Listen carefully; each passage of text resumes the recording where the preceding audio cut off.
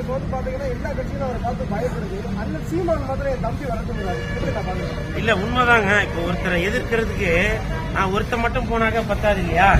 அதனால என் கூட ஒரு ஒரு நாலஞ்சு பேர் இருந்தாங்கனாக்கா எதிர்க்கிறதுக்கு ரொம்ப ஈஸியா இருக்கும் அதனால நம்ம சீமான் அண்ணன் அவர்கள் சொல்றது கரெக்ட் தான். செந்தமிழன் சீமான் அண்ணன் அவர்கள் சொல்றது கரெக்ட் தான். காரணம் என்னன்னாக்கா எல்லா விரலும் சேர்ந்தாக்கா பலம் அதிகமா இருக்கு இல்லையா? ஒரு விரலை வச்சு ஒரு பொருளை தூக்க முடியாது. எல்லா விரலும் சேர்ந்தாக்க ஒரு- அது ஒரு பலம் இருக்கு. அந்த ஒரு இனத்துல அவர்கள் வந்து சொல்லிக்கலாம் வாங்கடா தம்பிங்களா நம்ம எல்லாருமே சேர்ந்து எதிர்ப்போம் ஜெயிப்போம் தமிழகத்தை. அதுதான் நான் தான் சொல்றேன் இல்லையா? அது சொல்லும் போதே தெரியுதுல தன்னோட தம்பி அப்படின்னு சொல்றாரு அப்படி இருக்கிறப்போ பாத்தீங்கன்னாக்க ஒரு குடும்பம் அப்படின்னு தான் ஆக போகுது. அதனால அது வரவேற்கத்தக்கதுதான். இரவு நேர பாடசாலையை தொடங்குறாரு. அதே நேரத்தில் லியோ படத்துல ஒரு சிகரெட் பிடிக்கிறது மது அருந்துற காட்சிகளை ரொம்ப விமர்சனத்துக்குள்ளானது. இரவு நேர பாடசாலை ஆரம்பிக்கிறது நல்ல விஷயம் தான் ஏன்னா இவங்க எல்லாம் இருக்காங்க. சில பேர் வந்து பகல்ல வேலைக்கு போறாங்க. ஆனா அவங்களுக்கு வந்து படிக்கணும்ன்ற ஒரு எண்ணம் இருக்கும். நம்ம பகல்ல வேலைக்கு போனாதான் சாப்பிட முடியும் வருமானம் வரும் அப்படின்ற ஒரு எண்ணத்துல பகல்ல வேலைக்கு போயிட்டு நைட்ல படிக்க போறோம் நைட்ல போய் படிப்பாங்க. அது ஒரு நல்ல விஷயம் தானே அது. அதனால இரவு நேர நேர பாடசாலை வர்றது நல்லதுதான். நான் கூட மேற்கொண்டு நிறைய படிக்க முடியல. ஒருவேளை விஜய் சார் வந்து இரவு நேர பாடசாலை ஆரம்பித்தார் ஆரம்பிக்க தான் போறாரு போல. அதுல நானும் வந்து கண்டிப்பாக ஒரு மாணவனாக சேர்ந்து நான் வந்து படிப்பேன்.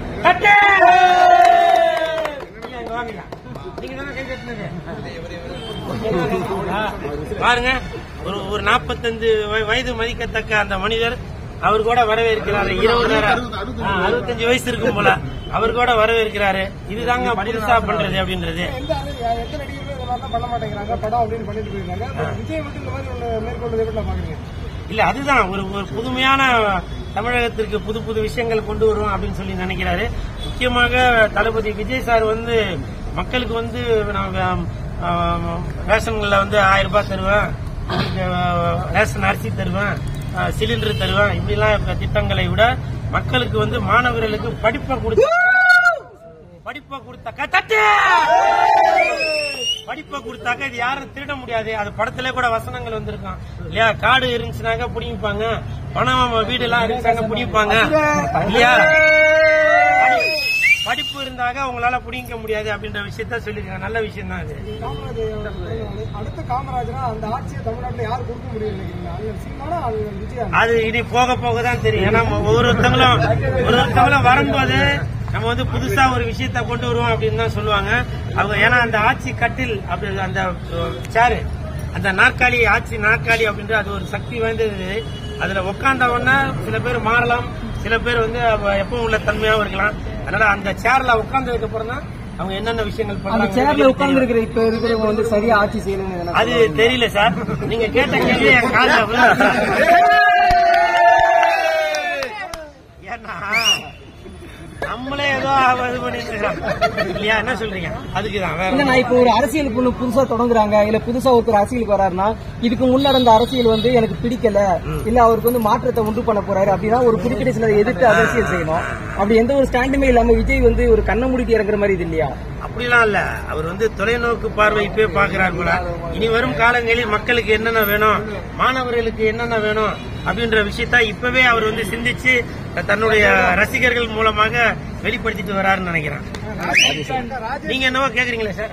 ராஜேஸ்வரி அக்கா வந்து என்ன சொல்றாங்கன்னா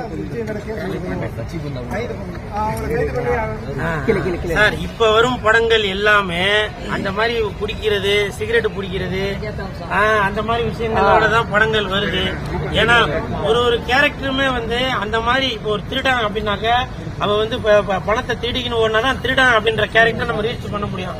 கொலகாரன் அப்படின்னாக்க அவன் கத்தி எடுத்து குத்துனாதான் கொலகாரன்றதை காட்ட முடியும். இல்லையா? கொலகாரன்னு நம்ம காட்டும் போது அவர் ஐஸ்கிரீம் சாப்பிட்டுனாக்க நீங்க கொலகாரன் ஒத்துப்பீங்களா? இல்லையா? வந்து கற்பழிக்கிறது அப்படின்னாக்க அந்த பொண்ணை ஓடி ஓடி போய் கையை பிடிச்சி இழுத்தாதான் கற்பழிக்கிற சீன்ன்றது அவர் இப்படிப்பட்டவர் அப்படின்றத காட்ட முடியும். அதுதான் வேற எதுவும் இல்ல. ஆனா இப்போ ஒரு ஹீரோ இப்ப விஜயை காமிக்கிறாங்க விஜயோட சிரிப்பு நல்லா இருக்கும் அவரோட நடிப்பு நல்லா இருக்கும் அவர் வந்து பஞ்சு டைலாக் நல்லா பேசுவார். இது வந்து குழந்தைங்கள்ட்ட காமிச்சு எல்லாத்தையும் நம்ம பேசலாம் விஜய் நல்லா நடிப்பாருன்னு சொல்லலாம். விஜய் நல்லா சிகரெட் பிடிப்பாரு விஜய் நல்லா தண்ணி அடிப்பாரு இந்த சீன் நல்லா இருக்குன்னு நம்ம சொல்ல முடியுமா?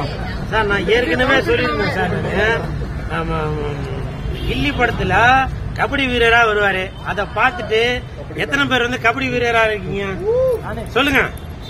ஆ? மாஸ்டர் படத்துல வந்து வாத்தியாரா வராரு. எத்தனை பேர் வந்து வாத்தியாரா வந்திருக்கீங்க? அதனால இத இத பார்த்துட்டு அவங்க கெட்டு போயிடுவாங்க ஆ, பிகில் படத்துல பிரச்சனை வராரு. அந்த மாதிரி தான் தயவு செய்து சினிமாவை சினிமாவா பாருங்க. சரிங்களா?